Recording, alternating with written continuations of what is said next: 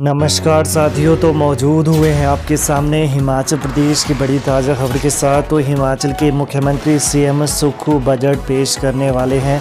तो ये बजट का पेश होगा और क्या बड़े फैसले लिए जाएँगे, तमाम जानकारी आपके समक्ष ज़रूर साझा करेंगे। तो आगे बढ़ने से पहले हिमाचल प्रदेश की ताज़ा खबरों को जानने के लिए कृपया चैनल को ज़रूर सब्सक्राइब करें।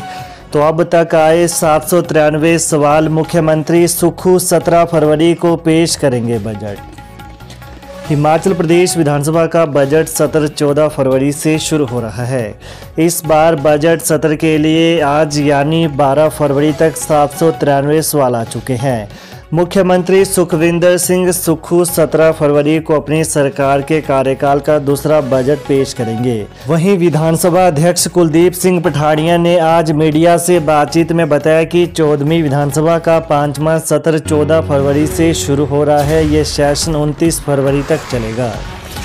वहीं सेशन में कुल तेरह बैठकें होंगी। सत्र की शुरुआत में 14 फरवरी को राज्यपाल श्री प्रताप शुक्ल का भी भाषण होगा। विधानसभा अध्यक्ष ने बताया कि इस बार सत्र में चूँकि तेरह ही बैठकें हो रही हैं, लिहाजा सर्वदलीय बैठक में सुझाव रखा जाएगा कि शोकोदगार भी पहले ही दिन हो जाए। वैसे परंपरा के अनुसार राज्यपाल के अभिभाषण के बाद सदन में पहले दिन कोई कार्यवाही नहीं होती है। इस बार कल होने वाली सर्वदलीय बैठक में विधानसभा अध्यक्ष की तरफ़ से उपरोक्त सुझाव दिया जाएगा कि जिससे समय की बचत होगी।